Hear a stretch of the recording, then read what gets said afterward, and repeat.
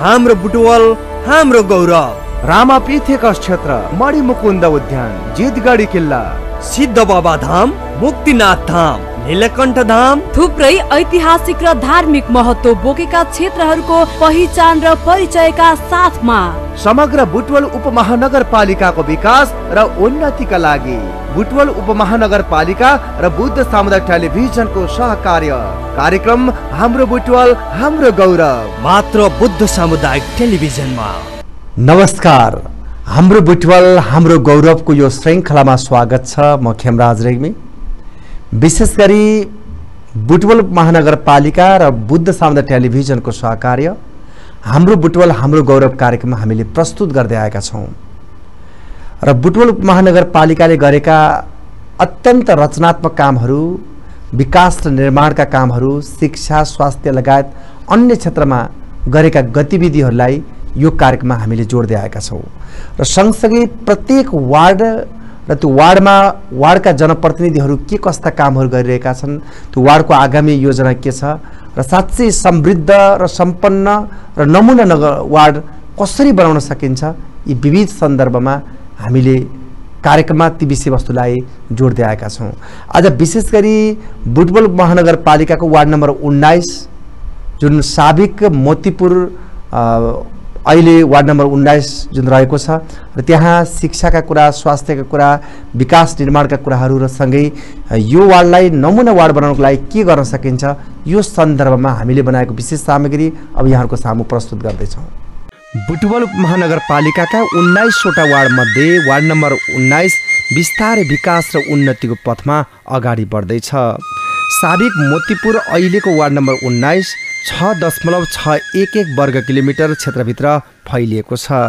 झन्डै पैँसठी सय जनसङ्ख्या रहेको यो वार्डका सन्दर्भमा वार्ड अध्यक्ष हिमबहादुर खत्री। हामीले दुई साल भइसक्यो मैले हजुरलाई पहिला पनि भनिसकेँ। यो बाटाघाटा मिलाउने कुलाहरूमा कल्बो डाल्ने र अब चाहिँ ग्याराबेल गर्ने यो सालदेखि बल्ल यसो कालोपत्रेलाई चाहिँ छोइयो छ दुई दुईवटा योजना चाहिँ लागु भएको छ। र केन्द्रीय योजनाबाट हाम्रा दुईवटा एउटा प्रदेशको र एउटा केन्द्रको योजना। यो रानीबारी टोल पुरानो सात नम्बर भन्नेमा त्यहाँ चाहिँ लागेको छ। मूल मूल दुईवटा सडकहरू चाहिँ त्यहाँ एउटा पिच भइसक्यो एउटा चाहिँ हुँदैछ। र त्यहाँ छ। र अब अहिलेसम्म त हामीले उयो कुलामा चाहिँ कल्पो डाल्ने साइफन ल्याउने बिजुलीका पोल ल्याउने अब यस्तै यस्तैबाट चाहिँ बजेटहरू चाहिँ सकिएको छ। भन्न त अब सालमा डेढ दुई दुई करोड चाहिँ बजेट पनि लगाइरहेछ अब त्यसै त्यसैमा गइरहेछ। अब चाहिँ अब हामीले चान्चुनी छोडौँ। अब जहाँ सकिन्छ दीर्घकालीन चाहिँ रोडहरू बनाऊँ भन्नेतिर नीतितिर अहिले हामी लागेका छौँ। योजना के छ आगामीलाई त्यही छ। हाम्रो चाहिँ अब कालोपत्रीमै बल गर्ने। अब यो चाहिँ टुकटाकमा चाहिँ अहिले नहेर्ने। कति टुकटाक रहँदो रहेछ पछि अब एक दुई साल चाहिँ यसलाई गरौँ। उहाँ पछि फेरि रहेकोलाई त्यसलाई गरौँला भन्ने चाहिँ सोचमा हामी त्यही बसिया छौँ। पूर्वमा उपमहानगरपालिकाकै वार्ड नम्बर सत्र पश्चिममा वार्ड नम्बर चौध उत्तरमा वार्ड नम्बर एघार र दक्षिणमा शुद्धोधन गाउँपालिका यसका सीमाहरू हुन्। थारू मगर गुरुङ ब्राह्मण छेत्री परियार बिक लगायतका जात जाति बसोबास गर्ने यो वार्डमा अन्य जातिभन्दा थारू जातिको बसोबास बढी भेटिन्छ। वार्डकै सन्दर्भमा वार्ड सदस्य कुमार प्रसाद थारू। हामीले जब जितिसकेपछि थारूहरूको विषयमा जस्तै पहिले त अब धार्मिक मठ मन्दिर बनाउन पऱ्यो हामीले जोड चाहिँ अब यो पथरगन्ज रानीबारी घोडकैया मनोहरापुर चारवटा गाउँमा डेउहार छ। पहिला हामीले प्राथमिकता त्यसलाई दियो किनभने अब डेउहार भनेको पहिलाको मन्दिर हो र त्यसमा दियौँ। र थारूहरूलाई के छ भने पहिलेबाट यो कृषि काम आधारित हुनुहुन्छ। र त्यसमा हामी अब जोड्नै दिएको छौँ जस्तै अब कुलापानीको व्यवस्था र यो बिउ बिजनहरूको व्यवस्था मलखादको व्यवस्था त्यो हामीले गर्दैछौँ।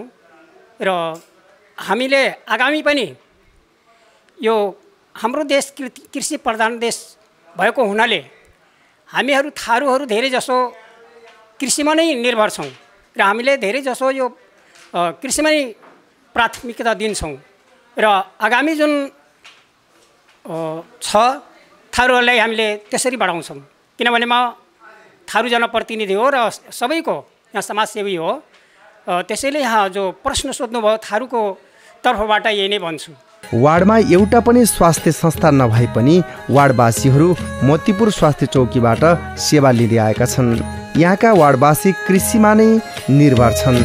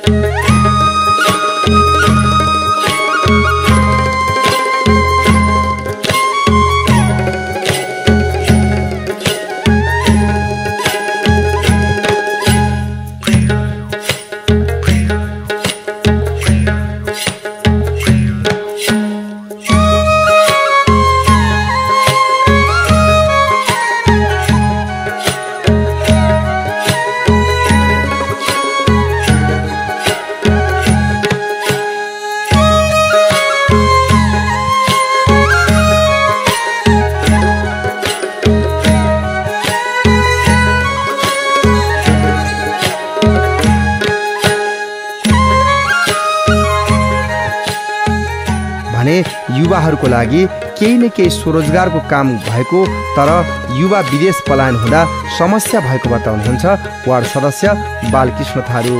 अब हामी निर्वाचन भइसके पश्चात हामी आएका जनप्रतिनिधिहरू यो युवा रोजगारहरूको लागि हामी जुन प्रधानमन्त्री स्वरोजगारको फर्म दर्ता भइरहेको थियो फर्म भर्ने क्रम कार्यक्रम भइरहेको थियो तर यसमा हाम्रो वार्ड नम्बर उन्नाइसका धेरैजसो युवा अथवा युवतीहरू फर्म भरेका थिए तर लास्टमा आएर हामी तिनीहरूलाई काम दिँदा पनि उनीहरू चाहिँ काममा आइदिएनन् हेर्नुहोस्।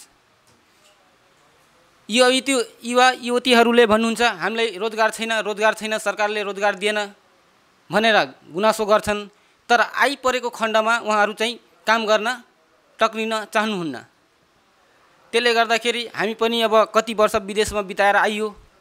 दुःख हामीलाई सबै थाहा छ विदेशमा कतिको दुःख हुन्छ तर त्यो किसिमको हामीले विदेशमा गरिने दुःख यहाँ नेपालमा हामीले गरिदियौँ भने त्यो किसिमले हामीले काम गरिदियौँ त्यति जोस जाँगरको साथ हामीले काम गऱ्यौँ भने हाम्रो नेपालमै सुन फल्छ तर यहाँका युवा युवती खालि उही विदेश ताकिने मात्र छ तर यहीँ आफ्नो गाउँमा ठाउँमा आफ्नो देशमा रोजगार गरौँ भन्ने चाहना र भावना भएको देखिन्न।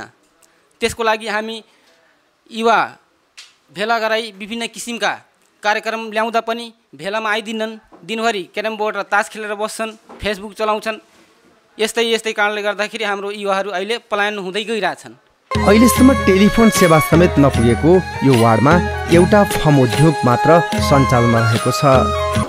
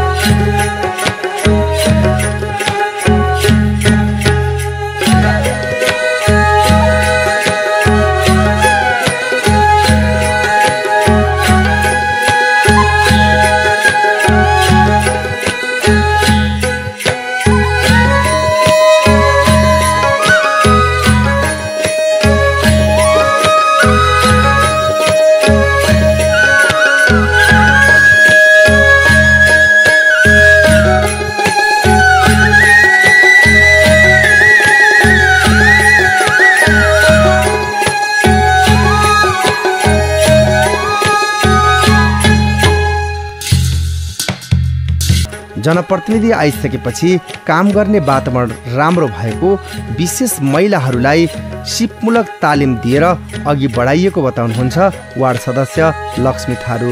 महिलाहरूको लागि चाहिँ हामीले अस्ति भर्खर मात्रै यो मोतीको माला बनाउने काम तालिम दिइरहेको थिएँ मैले।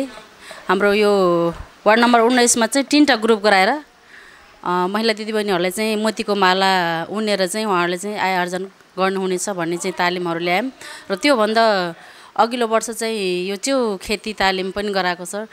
च्याउ खेती तालिम लिएर चाहिँ उहाँहरूले चाहिँ घर घरमा च्याउ बनाएर चाहिँ बेच्ने काम पनि गर्नुहुन्छ। र यस साथसाथै उहाँहरूलाई चाहिँ अलिकति यो नागरिक सचेतना भन्ने संस्थाबाट चाहिँ अलिकति पहिले गाविसै हुँदैखेरिबाट थियो एउटा चाहिँ। त्यस पछाडि पनि अझै थप भयो। नगरपालिका भइसकेपछि त्यो नागरिक सचेतना मार्फत चाहिँ नगरपालिकामा हाम्रो यो वार्ड सिलिङ बजेटबाट चाहिँ हामीले चाहिँ बजेटहरू छुट्याइराखिन्छ उहाँहरूलाई चाहिँ अलिकति अ, सिपमूलक कार्यक्रमहरू गराइराखिन्छ र उहाँहरूलाई चाहिँ अलिकति यो पछाडि परेको महिला वर्गहरूलाई चाहिँ अलिकति अगाडि आउनुहुन्छ उहाँहरू भनेर आउनु होला भनेर उहाँहरूले चाहिँ दुःख परेको खण्डमा चाहिँ म स्वयं उहाँहरूले भनेको कामहरू चाहिँ गरिरहेको हुन्छ र उहाँहरूलाई चाहिँ अलिकति प्रायः जस्तो श्रीमानहरूले चाहिँ रक्सी खाएर बढी कुटपिट गर्ने अर्को श्रीमती ल्याउने त्यस्तो त्यस्तो कामहरू चाहिँ गर्न खोज्नेहरूलाई चाहिँ अलिकति म चाहिँ साथ दिन्छु। र प्रायः जस्तो हाम्रो वार्डमा चाहिँ यो उन्नाइस नम्बर वार्डमा चाहिँ महिलाहरूको लागि चाहिँ धेरै राम्रो कामहरू भइरहेको छ। यहाँ मुक्तेश्वर महादेव मन्दिर बम भोला मन्दिर दुर्गा मन्दिर लगायतका थुप्रै मठ मन्दिरहरू रहेका छन्।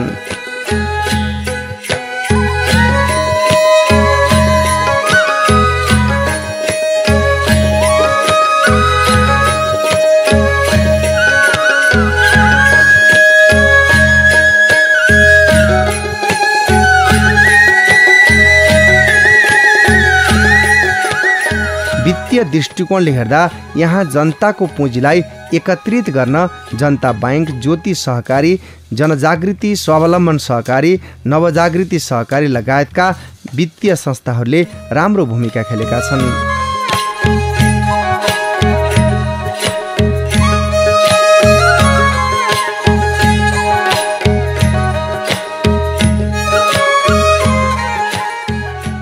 यहाँका अधिकांश नागरिकहरू कृषिमा नै आबद्ध छन्। कृषिका लागि एघार मौजा सिंचाइ प्रणालीको प्रयोग हुँदै आएको छ। जनप्रतिनिधि आइसकेपछि जनताको काम सहज भएको बताउनुहुन्छ वार्ड सचिव सुजन पौडेल। अब जनप्रतिनिधि हुँदा र नहुँदाको अवस्थामा त म अहिले यहाँ वडा सचिव भएर आएको अवस्था भनेको चाहिँ दुई महिना मात्रै भयो। अब म जनप्रतिनिधि भएकै अवस्थामा चाहिँ काम गर्न आइरहेको हुँदाखेरि मलाई चाहिँ त्यस्तो समस्या भएको छैन। जनप्रतिनिधिहरूबाट सहयोग नै भइराखेको छ र काम गर्न सहज पनि भएको छ हामीलाई। अब जनताको काम चाहिँ कार्यालयमा आएको प्रक्रिया पुगेसम्म र कागजपत्र पुगेसम्म हामीले कुनै पनि अवस्थामा चाहिँ अप्ठ्यारो बनाएका छैनौँ। जति सक्यो छिटो चाहिँ हामीले चाहिँ उहाँहरूको काम चाहिँ सकेर पठाउने चाहिँ प्रयास गरिरहेका छौँ। के छ यो वार्डलाई एउटा राम्रो वार्डको रूपमा स्थापित गर्नको लागि दुई महिना यहाँ भए तापनि। के के गर्यो भने यो वार्डलाई राम्रो गर्न सकियो? अब सबैभन्दा पहिला त अलिकति बुटोल उपमहानगरपालिका भनिए पनि अलिकति गाउँ जस्तो क्षेत्र चाहिँ थोरै चाहिँ हामी कहाँ छ। अब यहाँ व्यवस्थित रूपमा बस बस्ती विस्तार बाटोघाटोको राम्रो सुविधा हामी अझै पनि दूरसञ्चारबाट चाहिँ टाढा नै रहेको अवस्था छ। हामी कहाँ चाहिँ ल्यान्डलाइनहरूको चाहिँ सुविधा छैन।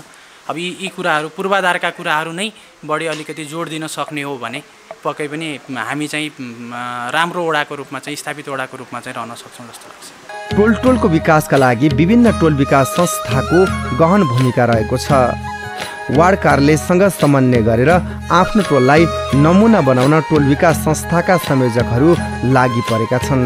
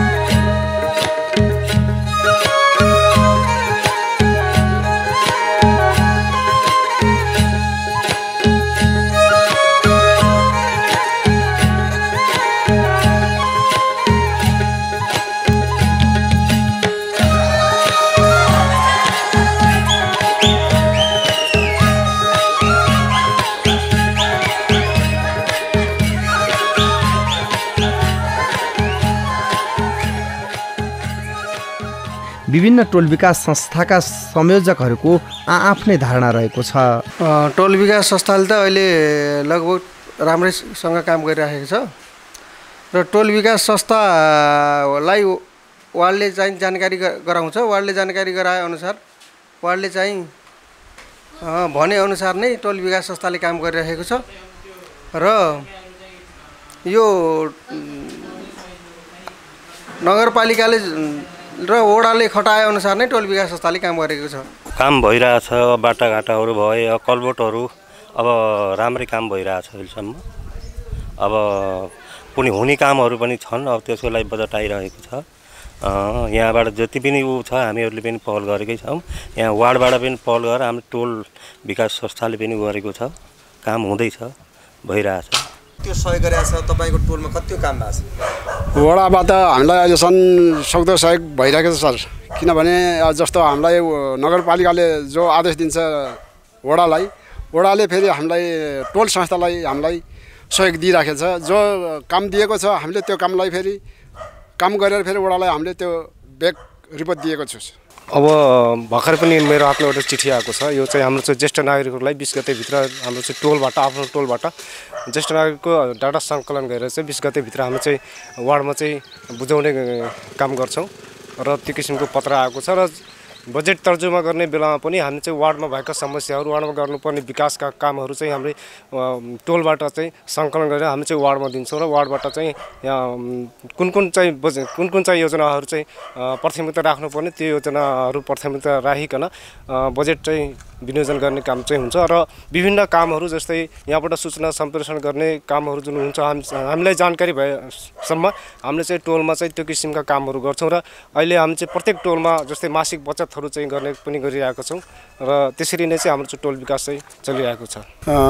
एउटा युवा टोल विकासको युवा अध्यक्षको नाताले पनि टोलको जुन भूमिका हुन्छ त्यो चाहिँ हामीलाई चाहिँ मैले चाहिँ गरिरहेको छु र मैले जति सक्दो त्यो चाहिँ प्रयास गरिरहेको छु तर पनि मेरो बस्ती चाहिँ अलिकति फरक अरू टोलभन्दा अलिकति फरक टोल भएको बस्ती भएको हिसाबले पनि मैले त्यसलाई चाहिँ अझै विकास गर्ने क्रममा जस्तै मैले अलिक फरक भने त्यो फरक भन्नको कारण चाहिँ म बस्ने बस्ती म जुन टोल विकासको अध्यक्ष छु त्यसमा चाहिँ एट्टीदेखि नाइन्टी पर्सेन्टभन्दा माथि चाहिँ थारू बस्ती रहेकोले गर्दा पनि त्यहाँको थारूहरूको चाहिँ अलिकति जनचेतनाहरू चाहिँ अलिक कम हुने हिसाबले गर्दा पनि मैले त्यहाँको थारूहरूलाई अलिकति एक माथि उठाउने हिसाबले जनचेतनाको कार्यक्रमहरू चाहिँ गर्ने सोचिरहेको छु र वडा कार्यालय पनि मैले बारम्बार वडा कार्यालय नगरपालिकालाई नै मैले भनिरहेको छु कि हामीलाई पनि यो जुन मेरो बस्ती छ जुन मेरो टोल विकास अन्तर्गत छ त्यहाँको थारू समुदायहरूलाई अलिकति माथि उकाल्नको लागि चाहिँ उनीहरूलाई जनचेतनाको हिसाबको कार्यक्रम ल्याउनुपर्छ दिनुपर्छ भनेर चाहिँ मैले माग गरिरहेको छु र यसपालिको मैले जुन बजेट छ क्षेत्र सत्तरको बजेट त्यसमा पनि मैले चाहिँ त्यो समुदायको लागि चाहिँ तिन चारवटा कार्यक्रमहरू राखेको छु।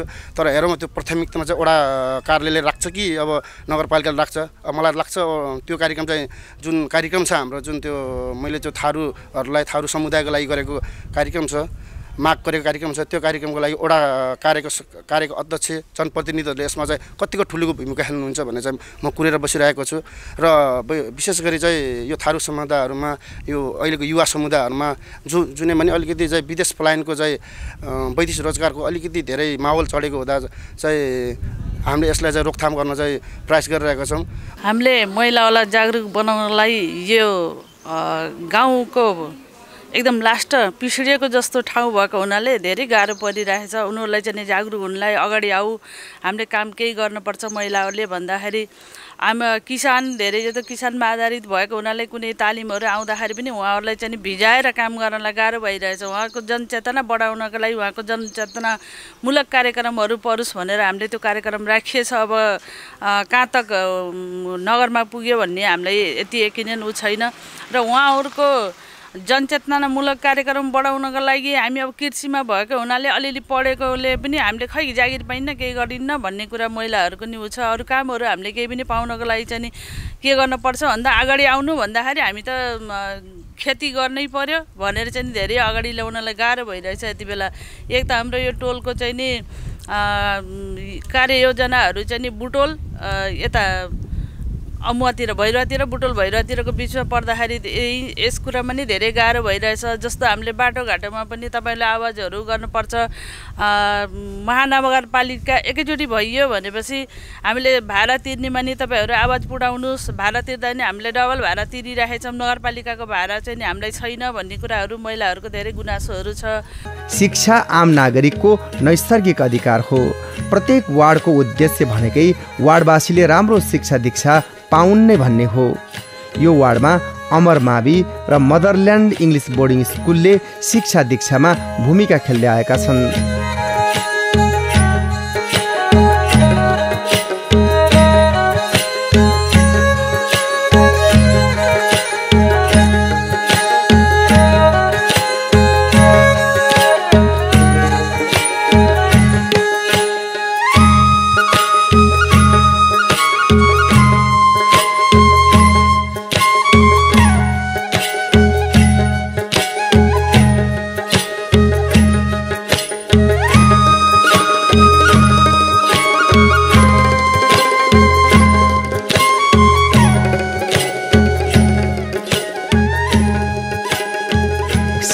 सन्दर्भमा मदरल्यान्ड इङ्ग्लिस बोर्डिङ स्कुलका अध्यक्ष हरिहर श्रेष्ठ।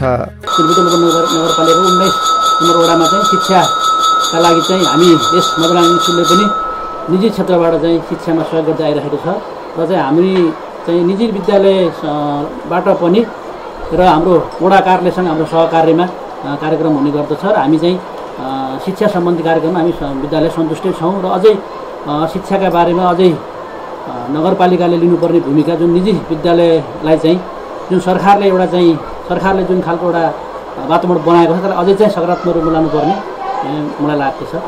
साँच्चै वार्ड नम्बर उन्नाइसलाई नमुना बनाउने हो भने थुप्रै काम गर्न जरुरी छ। बाटाघाटा कालो पत्रे हुनुपर्ने एघार मौजा तटबन्ध गर्नुपर्ने वार्डभित्रै स्वास्थ्य चौकी निर्माण गर्नुपर्ने अहिलेसम्म सञ्चारमा नजोडिएको हुँदा तत्काल दूरसञ्चार यहाँसम्म पुग्नुपर्ने। कृषकलाई कृषिमा वैज्ञानिक खेतीपाती पशुपालन लगायतमा सहुलियत दिएर अघि बढ्न प्रेरणा जगाउनु पर्ने फलफुल र तरकारीको पकेट क्षेत्रको रूपमा विकास गर्नुपर्ने प्राविधिक शिक्षाले खोलिनुपर्ने नागरिकको सुरक्षाको लागि प्रहरी बिट राख्नुपर्ने फोहोर मैला व्यवस्थापन गर्नका लागि फोहोर डम्पिङको व्यवस्था गरेको खण्डमा यो वार्ड साँच्चै नमुना बन्न सक्छ। त्यसका लागि उपमहानगरपालिकाले दृष्टि पुर्याउन नितान्त जरुरी छ।